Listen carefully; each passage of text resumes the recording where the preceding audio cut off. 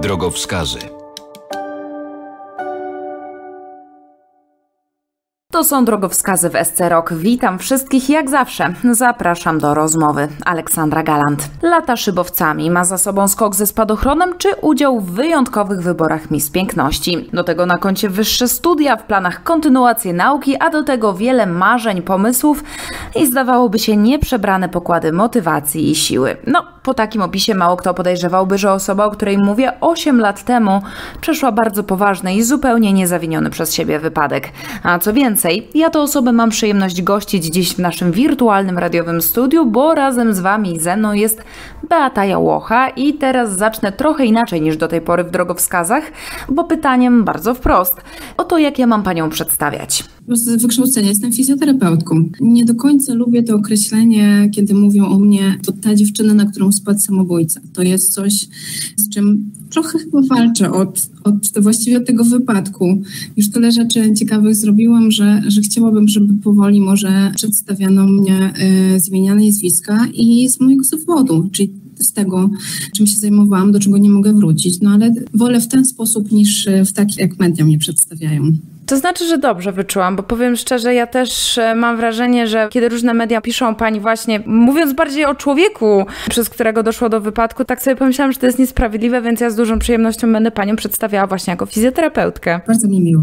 Wspomniała już pani, że no, y, w tej chwili zawodu nie może wykonywać, ale z tego co wiem, pani się jeszcze w tym kierunku kształciła potem, po wypadku. Trochę jest tak, że ja bardzo chciałabym pracować e, w moim zawodzie, bo wydaje mi się, że mam spore predyspozycje predyspozycje do tego. Też bardzo lubiłam swoją pracę, ale moje ograniczenia zdrowotne są na tyle duże, że ja naprawdę do tego zawodu wrócić nie mogę. Podjęłam co prawda studia podyplomowe i zrobiłam specjalizację. Jestem specjalistą do spraw zarządzania rehabilitacją, ale prawdę mówiąc, bardzo lubię taką pracę z pacjentem jeden na jeden i teraz zastanawiam się mocno i możliwe, że się zdecyduję na studia z psychoterapii. Cały czas szukam gdzieś tam tego swojego miejsca w zawodzie. Na tej mojej drodze podejmowałam różnych prac, ale to, to nie jest coś, z czym się spełniam. To ważne jest to dla mnie, żeby robić rzeczy, które mają dla mnie duże znaczenie. Tak jak podkreśliłam, bardzo lubię pracę z człowiekiem. To jest coś, co mnie interesowało zawsze i możliwe, że właśnie ta psychoterapia będzie tym kierunkiem. Myślę, że mogłabym się w tym bardzo odnaleźć, chociażby też ze względu na te doświadczenia, które mam. To jest taka bardzo, wydaje mi się, duża wartość w pracy z pacjentem, bo byłabym bardzo wiarygodna. Myślę, że patrzę na różne problemy z różnych, z różnej perspektywy i to też też jest bardzo takie prawdziwe, budujące. Ja, tak jak pani mówiłam, ja nie chcę rozmawiać o samym wypadku, bo to jest historia. Dla mnie bardzo wartościowe jest to, o czym już pani zaczęła mówić, to, co działo się później. To chociażby, że zaczęła pani szukać nowej, innej drogi, że pani szuka dla siebie miejsca, jak my wszyscy właściwie to nas łączy. Ale pani miała taki moment, kiedy zdała sobie sprawę, że rzeczywiście w takim ułamku sekundy, no wszystko się zmienia no w moim przypadku tak właśnie było, bo ten wypadek właściwie zmienił wszystko w moim życiu i Pytanie, czy jeżeli spotyka nas w życiu coś, co diametralnie je zmienia, to czy chcemy wierzyć, że ma wrócić coś, co nie wróci? Wydaje mi się, że czasami w życiu trzeba po prostu spojrzeć prawdzie w oczy i zdać sobie sprawę, co możemy, a czego nie. Pytanie, na ile możemy sobie odpowiedzieć. Często jest tak, że sami siebie oszukujemy, że, że jeszcze możemy więcej albo że czegoś nie dopatrzyliśmy. No moja sytuacja była dla mnie przynajmniej bardzo klarowna, bo też to moje doświadczenie bycia fizjoterapeutą myślę, że odegrało tutaj dużą rolę, bo po prostu wiedziałam, jakie będą konsekwencje tego wypadku, co też nie zmienia faktu, że bardzo mnie obciążyło. Z doświadczenia też wiem, że są, są pacjenci, którzy miesiącami, nawet latami gdzieś tam wierzą w to, że to zdrowie odzyskają nawet w pełni. W przypadku urazu rdzenia, w przypadku moim, nie było złudzeń co do tego, że, że jednak lepiej myśleć o tym, co może mm, zbudować to moje życie na nowo, niż żyć w takiej bańce i łudzić się, że pewne rzeczy wrócą. I to było moje podejście i wydaje mi się, że ja w w ten sposób po prostu zaczęłam e, myśleć, co nie zmienia faktu, że było to bardzo, bardzo trudne powiedzieć sobie, że pewne rzeczy zostawiam i teraz skupiam się na tym, co może gdzieś zbudować moją przyszłość i trochę o nią zawalczę. No więc tak e, ja podeszłam do sytuacji, w której e, się znalazłam i wydaje mi się, że to jest taka indywidualna decyzja każdej osoby i też taka umiejętność znalezienia się w sytuacji i spojrzenia na nią, na nią tak prawdziwie, bez no, dawania sobie takich złudzeń, że jest lepiej niż, niż w rzeczywistości. To jest bardzo trudne, bo ja mam wrażenie, że wszystkim nam to się zdarza i wszyscy ulegamy takiej pokusie, żeby trochę w coś brnąć, przymykając oko na własne słabości, albo po prostu na to, że pewnych rzeczy nie możemy robić. To dotyczy się wszelkich sfer życia. No a pani tak e, stawiając sprawę ze sobą bardzo uczciwie, wydaje mi się, że dokonała czegoś dużego, bo to może się wydawać pozornie proste, ale postawić siebie przed faktem bardzo trudnym do zaakceptowania wydaje mi się dużą sztuką. No jest to dosyć trudne w życiu. Wydaje mi się, że to trzeba bardzo e, indywidualnie rozpatrywać, bo to są takie delikatne sytuacje i teraz trzeba rozważyć za i przeciw. No u mnie ta sytuacja, patrząc na to pod kątem medycznym, dla mnie mm, była taka dosyć klarowna. No w życiu troszeczkę to inaczej wygląda, bo te sytuacje, tak jak mówiłam, są różne i też pytanie, na ile jesteśmy gotowi na to, żeby, żeby pewne rzeczy zostawić i iść dalej, na ile też nasza psychika pozwala na to, żeby prawdziwie sobie odpowiedzieć na pewne pytania. Często jest tak, że też się troszeczkę oszukujemy, bo chcemy żyć w tej rzeczywistości, która jest nam znana i, i nawet jeżeli nie czujemy się w niej dobrze, no to, to lepiej być w czymś, co, co jest bezpieczne, troszkę się poszukiwać, pożyć w tym, co może nie do końca nas uszczęśliwia, tak już przenoszę się na inne obszary, ale prędzej czy później tak każdy z nas dochodzi do takiego momentu, że podejmuje tą decyzję. Czasami trwa to dłużej, czasami krócej. Ja nie zawsze też w życiu miałam tak, że bardzo szybko byłam w stanie ocenić tę sytuację i stwierdzić, to teraz kończę to i, i idę dalej. Natomiast tamta sytuacja była o tyle trudna, że ja naprawdę nie do końca miałam do czego wrócić, bo i zawodowo nie było to możliwe. Prywatnie też, też moje życie się zaczęło zmieniać, więc um, stawałam w takich sytuacjach, w których musiałam sobie odpowiedzieć na pytanie, czy chcę iść dalej i, i ja podejmowałam takie decyzje. Myślę, że w, w, innych sferach w życiu też zdarzało mi się pewne decyzje przedłużać, odciągać i to jest naturalne, więc no nie byłabym taka surowa. Wydaje mi się, że trzeba być takim bardzo wyrozumiałym dla siebie i, i też pytanie, na ile człowiek w danym momencie życia jest w stanie spojrzeć na taką sytuację i podjąć e, tą decyzję, że zostawiam pewne rzeczy, teraz decyduję się na coś innego. Mnie troszkę tak to życie podstawiło pod ścianą i musiałam zawalczyć o siebie i może z tego bardziej wynikała ta, ta moja postawa, co nie zmienia faktu, że jakoś znalazłam na to wszystko siłę i, i gdybym jeszcze raz znalazła się w tej sytuacji, to myślę, że podjęłabym bardzo podobne decyzje. Niczego bym nie zmieniła. To, to jest piękne to, co pani powiedziała. Nie wiem ilu z nas, nie wiem czy ja sama potrafiłabym powiedzieć, że patrząc wstecz niczego bym nie zmieniła, dlatego patrzę na panią z coraz większym podziwem. Ale pani zaczęła mówić o sile. To jest coś, co mnie w przypadku wielu rozmówców bardzo ciekawi. Skąd się bierze tą siłę? Patrząc oczywiście z boku na panią, na pani historię, z jakichś medialnych przekazów, to tak naprawdę no, miała pani wszelkie powody, żeby się po prostu położyć pod tym ciężarem jakiejś niesprawiedliwości, niezrozumienia, tego, że właściwie wszystko się nagle zmieniło, a pani tego nie zrobiła, co myślę, że no już o tym mówiłyśmy, sporo wymagało. I skąd się bierze tę siłę, której czasem w dużo prostszych sytuacjach no, nie sposób znaleźć? Ja właściwie e, sama nie wiem do końca skąd tą siłę mam w sobie. Może dostaję na miarę tego, co mnie spotyka w życiu i, i może ktoś pomyśli, że to jest naiwne, ale ja bardzo mocno zaufałam, że, że coś mnie wyprowadzi z tego wypadku. I tak samo jak e, mocno no, cierpiałam, bo to inaczej e, tego nie można nazwać, bo bólu było bardzo dużo, tak później zawierzyłam, że, że kiedyś nadejdzie taki moment, gdzie to wszystko się powoli zacznie układać i tak zaufałam temu. Co nie zmienia faktu też, że bardzo racjonalnie podchodziłam do pewnych sytuacji jeżeli czegoś naprawdę nie dało się z, e, zrobić, rozważałam za i przeciw, to po prostu racjonalnie podchodząc do sytuacji podejmowałam decyzję i robiłam kolejny krok do przodu. Mając sobie taką ogromną ufność, że prędzej czy później po prostu to życie się ułoży i mając też dużo takiego zrozumienia, wyrozumiałości dla ludzi, którzy byli wokół mnie, dla różnych sytuacji, które po drodze się zdarzały i, i w ten sposób przeszłam przez ten wypadek. Wydaje mi się, że pewne rzeczy w życiu i tak samoistnie się klarują. Naprawdę nie ma sensu walczyć walczyć e, z tym, że ktoś czegoś nie uniesie, nie da rady, odmawia. No, trzeba dać ludziom przestrzeń też do tego, żeby mogli przeżyć pewne rzeczy na własny sposób. A skąd wzięłam na to siłę? Wiem, widocznie otrzymuję tyle, ile powinnam mieć, żeby, żeby sobie z tym wypadkiem poradzić i z tymi ograniczeniami, które mam. Pani potwierdziła to, co przeczytałam w z, jednym z wywiadów. Pani mówiła, przyznawała, że jest osobą bardzo poukładaną, racjonalną. Ja to teraz słyszę w tym, co pani mówi i tak sobie myślę, że to na pewno też pomaga, że nie wiem, czy można powiedzieć, że pani funkcjonuje zadaniowo. To absolutnie nie jest y, jakieś oceniające, po prostu są ludzie, którzy tak działają i myślę sobie, że to też w jakiś sposób może pani pomogło w tym wszystkim. Ja jestem mm, osobą zadaniową i e, na pewno ta droga, którą brałam, to właśnie był taki tryb różnych zadań, które sobie wybierałam. Wybierałam takie rzeczy, które po prostu dodawały mi sił, które gdzieś mogły mnie wzmocnić, które też otwierały mnie na ludzi w różnych obszarach. W ten sposób. Teraz jak patrzę na to, jak funkcjonuje na lotnisku, kiedy latam szybowcami, to też ostatnio doszliśmy w rozmowie z moim szefem wyszkolenia, z, z dyrektorem, że, że jestem po prostu zadaniowcem.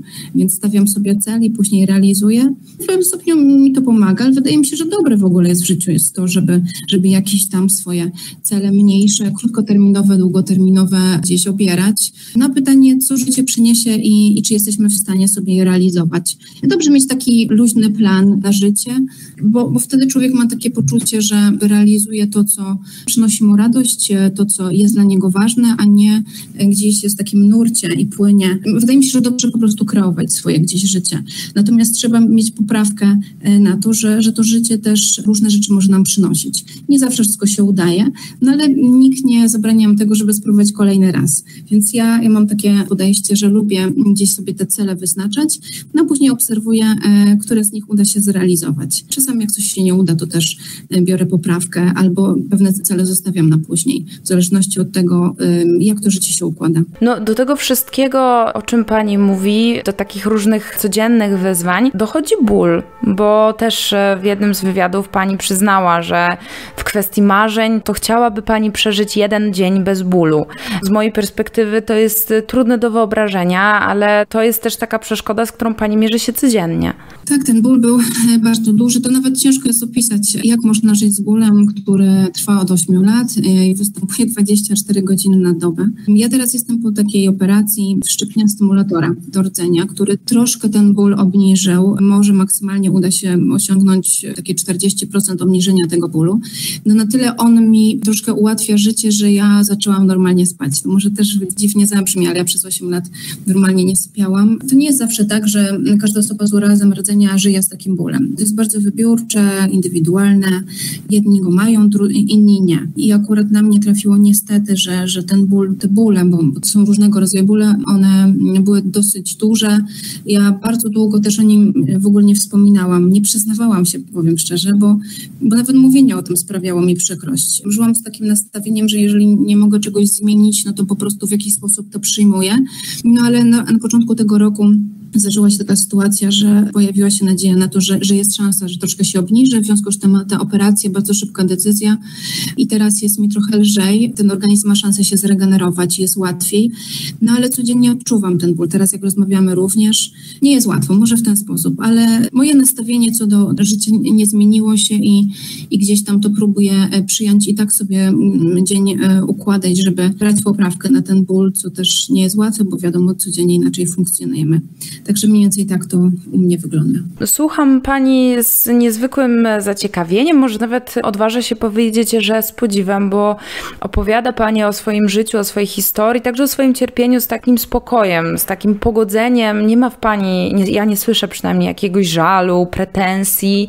I tak na koniec tego wątku, bo teraz chciałabym rozmawiać o tym, o tym tu i teraz, o, o tym, co Pani robi, ale tak na podsumowanie chciałam zapytać o Pani wnioski po tych ośmiu latach o spostrzeżeniach na temat ludzi, może świata. Pani na samym początku powiedziała, że chciałaby pracować z ludźmi, że tych ludzi potrzebuje, że chciałaby się dzielić swoimi doświadczeniami. Czy na przykład postrzeganie ludzi, otoczenia, bliskich po tych ośmiu latach się jakoś zmieniło? Właściwie nie. Ja podobnie postrzegam y, ludzi wtedy, y, tak jak i teraz, tyle że mam więcej zrozumienia, y, więcej przestrzeni do tego, że nie każdy może mnie zrozumieć w danej sytuacji, nie każdy może odczuć to, jak funkcjonuje i mam więcej przestrzeni dla ludzi. Kiedyś było więcej emocji, które powodowały, że, że chciałam, żeby ktoś zrozumiał, co, co się wydarzyło, a teraz jest tak, że mniejszym dla mnie znaczenie znaczenie, bo jeżeli chodzi o takie wypadki, takie trudne doświadczenia, które mam w życiu, to dopiero przeżycie tych sytuacji pozwala nam w jakimś stopniu zrozumieć, przez co ktoś przechodzi. I czasami słowa nie oddają tego,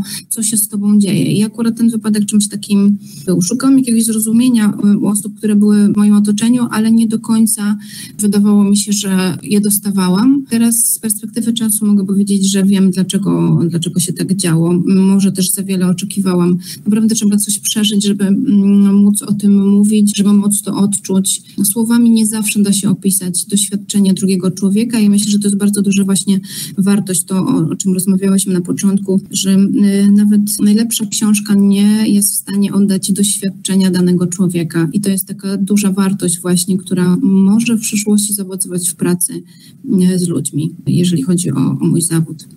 Za moment chciałabym, żeby opowiedziała Pani o tym, jak teraz wygląda Pani świat, bo nie mam wątpliwości, że wypadek nie odebrał Pani pasji do życia i chęci osiągania kolejnych celów.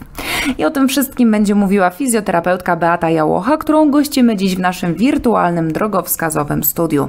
Słyszymy się za kilka minut w SC Rock. Aleksandra Galant. Drogowskazy. Rozmowy o życiu.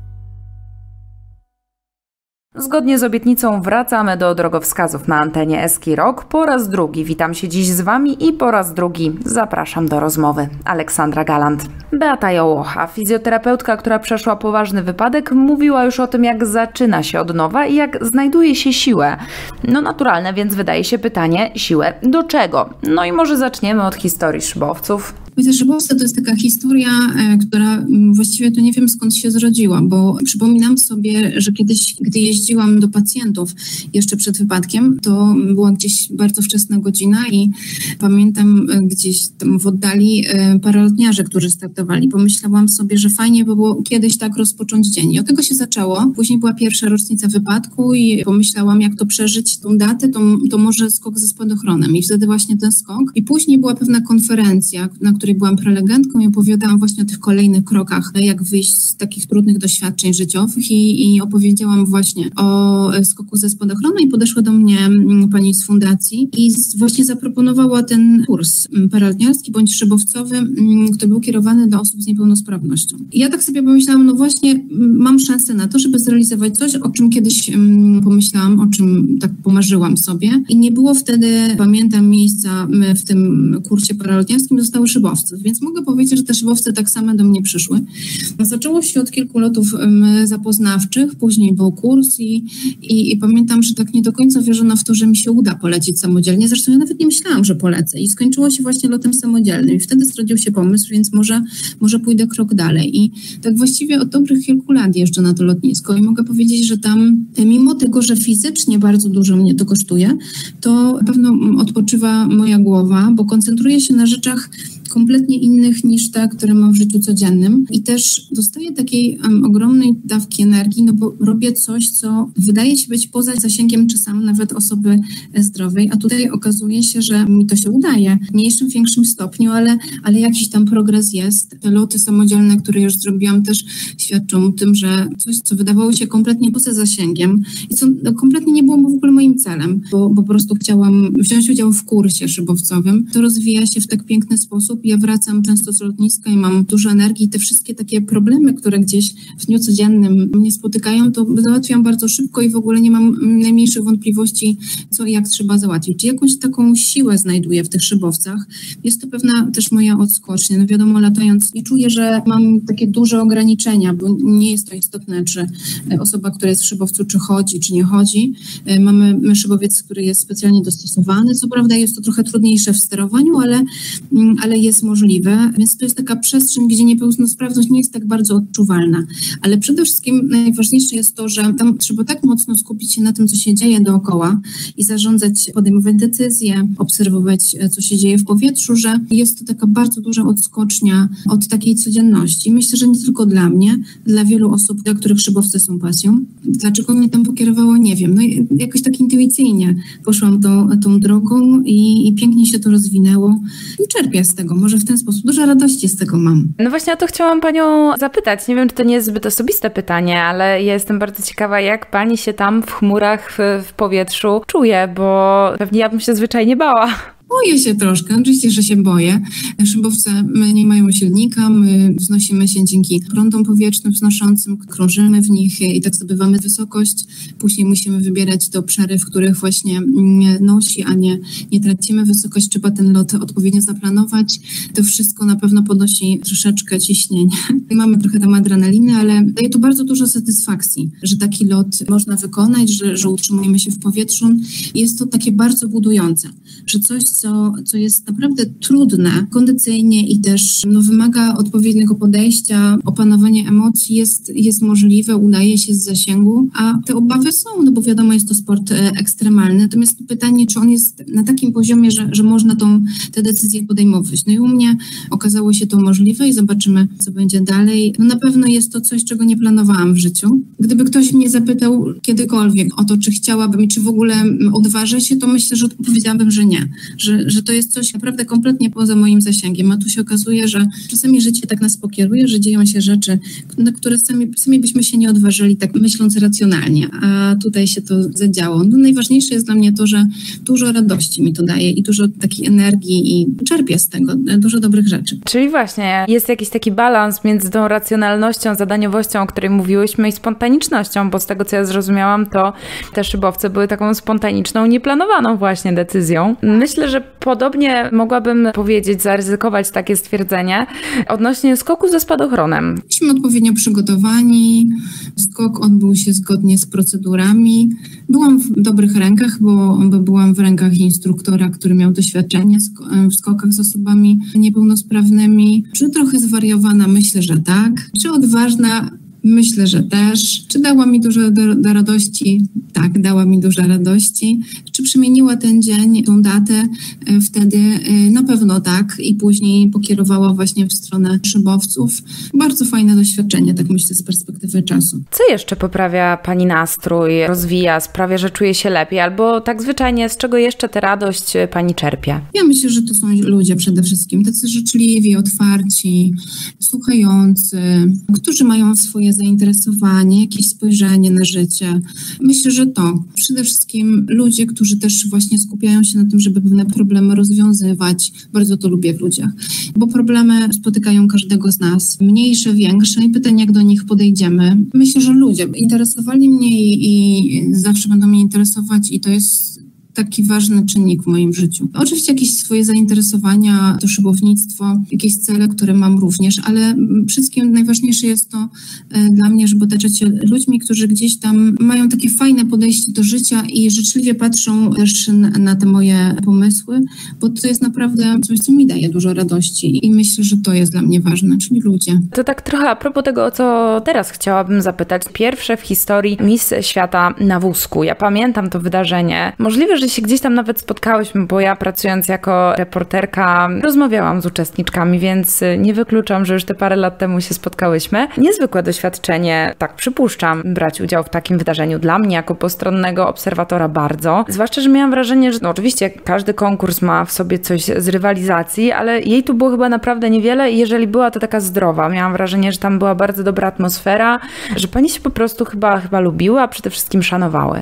To było piękne wydarzenie, bo mm, przyjechały dziewczyny z całego świata i to naprawdę było bardzo duże przedsięwzięcie i też przepięknie zostało ono pokazane, bo, bo stroje uczestniczek, scena, makijaże, no wszystko było bardzo dopracowane, więc fajnie jest pokazywać niepełnosprawność naprawdę w taki ładny sposób, w dobry sposób, bo mam wrażenie, że w Polsce jeszcze tego jest trochę za mało. Bardzo często y, mówimy o pomocy i to jest bardzo ważne, o wsparciu, ale też każdy gdzieś tam człowiek jest, y, jak patrzę na różnych ludzi, piękny i piękno w też niepełnosprawności można zobaczyć. I tutaj te dziewczyny, które przyjechały, naprawdę były bardzo, bardzo śliczne i, i też fajne jest to, że one przyjechały z czymś tam. Każda miała jakąś historię, o której też opowiadała.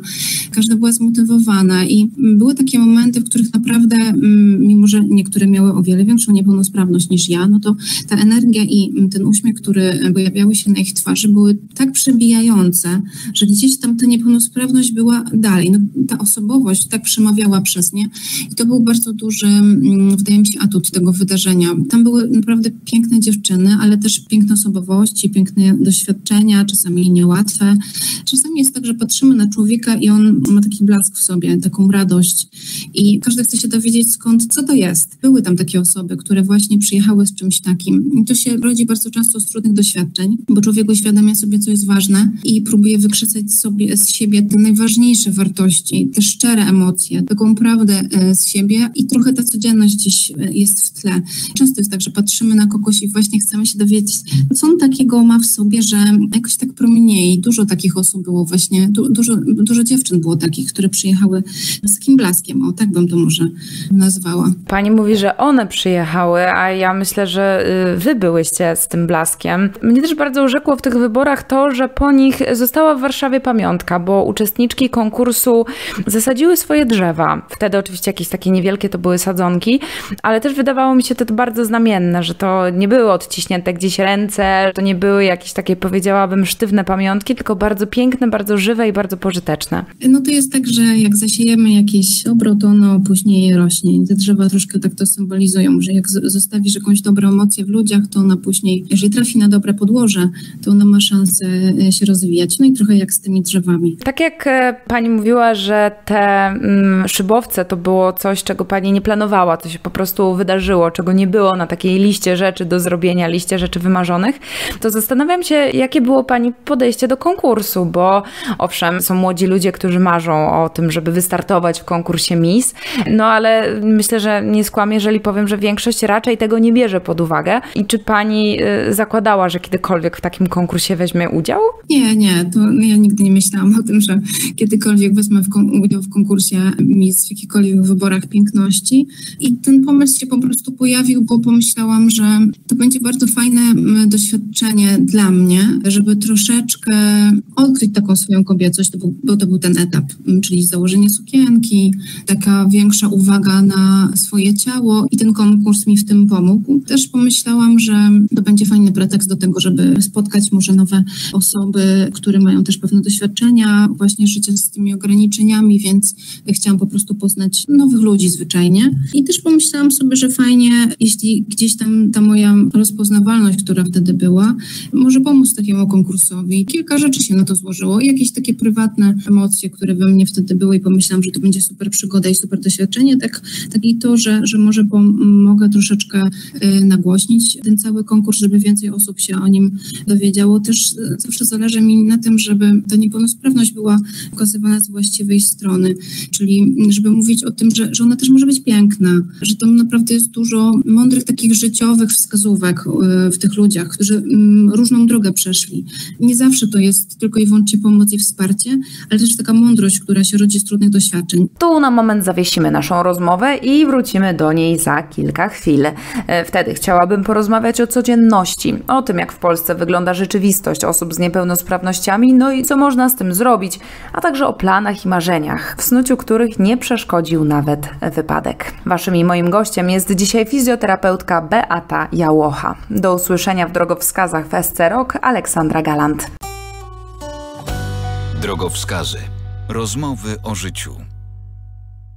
I to już jest czas na finałową odsłonę naszego dzisiejszego spotkania w drogowskazach na antenie Eski Rock. Ja się nazywam Aleksandra Galant, a w naszym wirtualnym radiowym studiu mam przyjemność gościć fizjoterapeutkę panią Beatę Jałochę, która rozpoczęła nowe życie po wypadku. No właśnie, mówię nowe życie, bo od wypadku minęło już 8 lat. E, wyklarowała się taka nowa codzienność. No i właśnie, jak wygląda pani dzień, tak od rana do wieczora? Trzeba na pewno e, zwrócić uwagę na to, że takie czynności dnia codziennego zajmują więcej, o wiele więcej czasu. I te siły troszeczkę inaczej się rozkładają. Trzeba wziąć pod uwagę to, że ten odpoczynek musi być częstszy, że tych czynności w ciągu dnia jest mniej, że jeżeli zdarzy się jakiś taki dzień bardziej intensywny, to do kolejnego dnia trzeba odpocząć. No po prostu ten organizm inaczej funkcjonuje i szybciej traci siłę. Natomiast no, dzień codzienny wygląda podobnie. Myślę, że jak większości osób, on nie odstaje jakoś specjalnie. Zresztą dąży się też do tego, żeby osoby z niepełnosprawnościami wartościami funkcjonowały po prostu normalnie, z uwzględnieniem pewnych ograniczeń, które mają w życiu i z ułatwieniami pewnych czynności po prostu w życiu codziennym, ale chodzi o to, żeby mieć tą normalność w życiu. No i ja patrząc na swoje życie, myślę, że taką codzienność, to ona wygląda całkiem normalnie, tyle, że uwzględniam po prostu te ograniczenia. Czyli tak jak mówię, pewien odpoczynek większy, mniejszą intensywność tych zadań w ciągu dnia, ale rutyna jest, podejrzewam, bardzo, bardzo zbliżona. Normalnie, to jest słowo, którego Pani użyła kilkukrotnie bardzo duży nacisk, szczególnie w ostatnich latach, mam wrażenie, że w Polsce, znaczy w całej Europie, na całym świecie, ale i w Polsce kładzie się na to, żeby osoby z niepełnosprawnościami nie były wykluczane z, z pewnych aktywności, możliwości, które daje rzeczywistość. No ale y, chciałabym, żeby pomogła nam to Pani jakoś zweryfikować. Czy Pani uważa, że rzeczywiście tak jest, że ten świat staje się coraz bardziej otwarty na osoby z niepełnosprawnościami, czy to jest jeszcze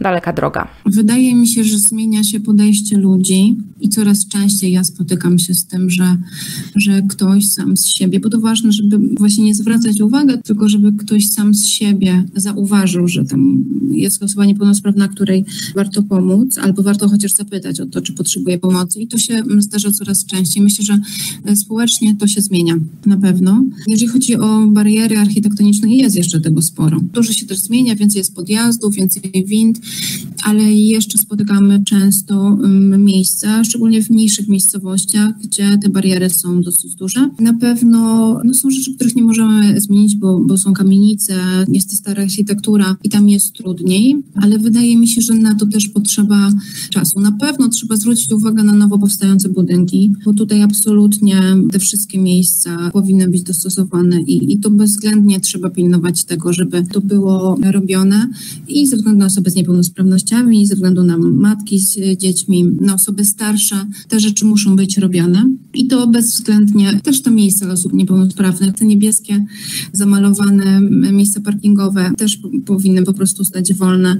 Nawet jeżeli jest pełen parking, to te miejsca, y, mimo że nie pojawia się osoba niepełnosprawna i one stoją wolne, powinny zostać wolne. Ku temu są przeznaczone, więc myślę, że społecznie po prostu się uczymy i to będzie się zmieniało. Natomiast no, wydaje mi się, że pewne zmiany powinny też pójść odgórnie, tak jak to, że całkiem niedawno pojawiła się taka możliwość skorzystania bez czekania w kolejce dla osoby ze znaczną stopniu niepełnosprawności do specjalisty. Pewne rzeczy po prostu powinny być odgórnie ustalone i wprowadzane, bo to powoduje, że nie ma niepotrzebnych dyskusji, na przykład w poczekalniach. Sama wycieczka takiej osoby niepełnosprawnej do lekarza to już jest czasami bardzo duże przedsięwzięcie, organizacja, zaangażowanie in, innych osób, więc trzeba tym osobom ułatwiać. Wydaje mi się, że to się zmienia i będzie się zmieniało z czasem. Bardzo fajne jest to, ja często się spotykam z świetnymi reakcjami ludzi młodych, którzy po prostu w ogóle nie widzą w niczym problemu i bardzo otwarcie e, podchodzą. E, świetnie reagują dzieci. Dzieci w ogóle traktują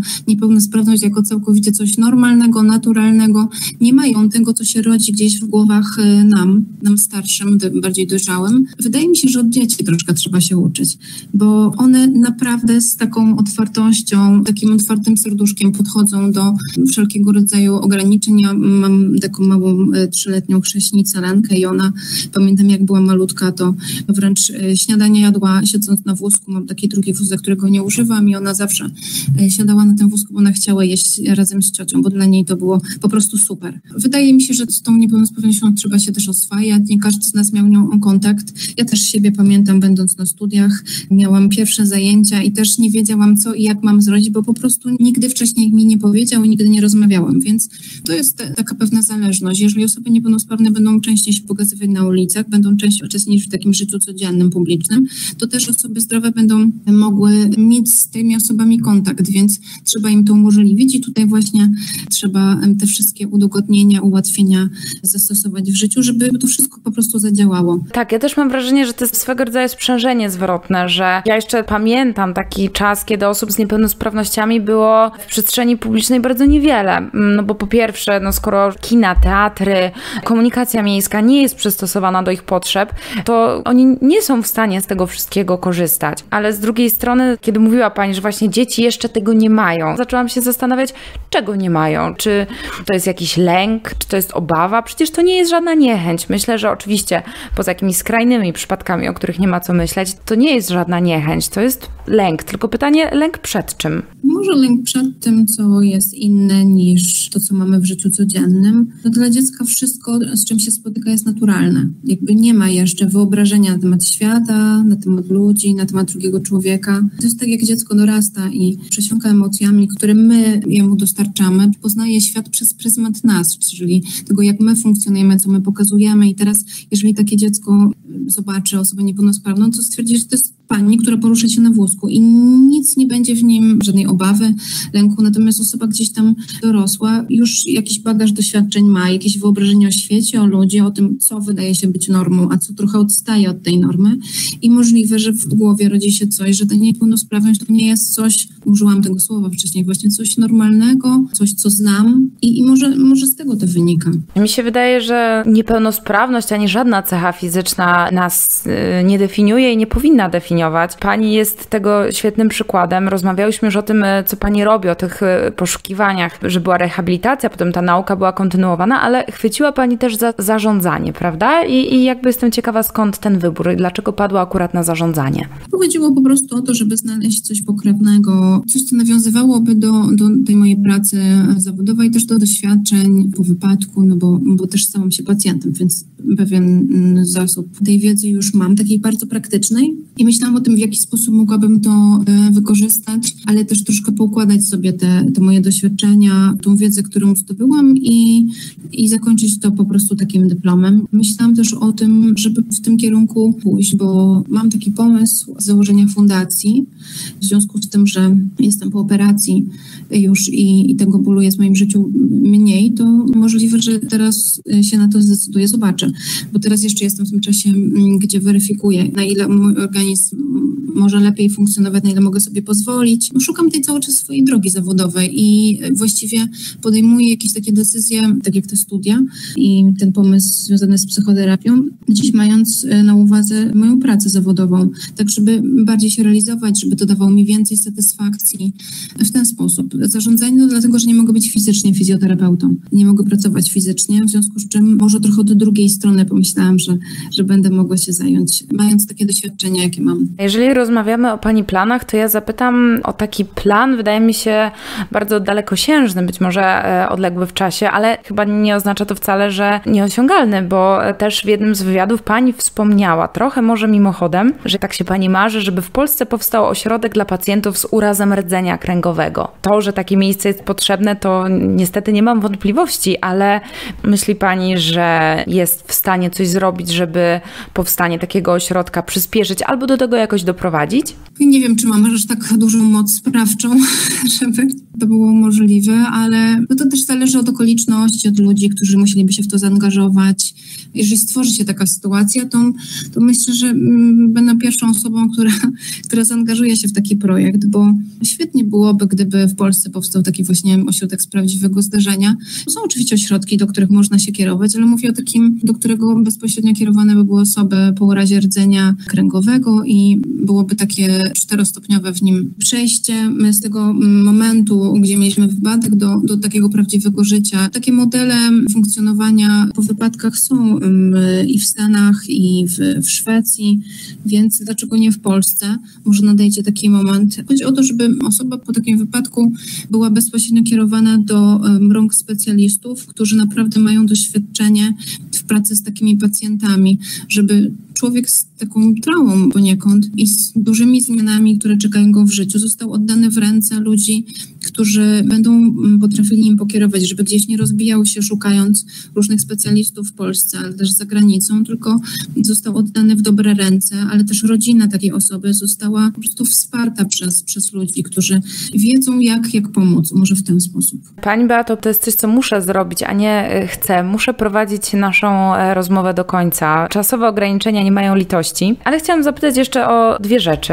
Jedną sobie zostawię już na zupełny koniec, a teraz po raz kolejny odwołam się do Pani własnych słów. Pani też wspomniała, że powstanie takiego ośrodka byłoby czymś, co przekułoby Pani historię w coś wartościowego i to wszystko wtedy miałoby sens. Zanim zaczęłyśmy rozmawiać, miałam ochotę zapytać, czy Pani tego sensu nadal szuka, ale po tej całej rozmowie mam wrażenie, że Pani jakoś jest z tym na tyle pogodzona, że swój własny sens tego odnalazła. Ja już wiele rzeczy zrozumiałam dzięki temu wypadkowi. Bardzo wiele takich, wydaje mi się, wartościowych przemyśleń mam, których y, nie znalazłabym w książkach. Patrzę na życie inaczej. Oczywiście borykam się z różnymi problemami dnia codziennego, jak każdy z nas, ale mam coś, co pozwala mi złapać pewien dystans do tego. Oczywiście mam dni radości, dni smutku, dni złości, jak każdy, ale ja już jakby nie szukam. Jeżeli uda mi się zaangażować w jakiś projekt, który może wnieść coś dobrego, to jak najbardziej. Jeżeli komuś mogę pomóc, no na ile mogę, na, na ile jestem w stanie i zdrowie mi pozwala, to to robię. Na ile podpowiedzieć, to również, ale już tak y, wydaje mi się nie biegnę. Bardzo dużo rzeczy też takich wartościowych zrozumiałam i na stopie prywatnej, i też zawodowej. Dużo dobrego, wbrew, wbrew temu, co się wydarzyło w moim życiu, trudnego, to, to dużo dobrego też mi ten wypadek dał. O, może, może to tak ciężko jest zrozumieć, ale ale trochę mnie przekierował na inny sposób postrzegania rzeczywistości, ale też myślenia o życiu, o ludziach, o wartościach. To na sam koniec zapytam, czego Pani życzyć? No, rozmawiałyśmy już o tym, że marzy Pani o tym, żeby tego bólu było mniej, ale wspomniała już też Pani, że coś w tym kierunku zrobiła, że ta y, operacja jest za Panią. No to w takim razie co dalej? Czego jeszcze można życzyć? Ja myślę, że mi można życzyć takich prostych rzeczy. Dużo uśmiechu na co dzień, dużo fajnych, życzliwych ludzi, zdrowia na pewno, bo to zdrowie moje jest kruche.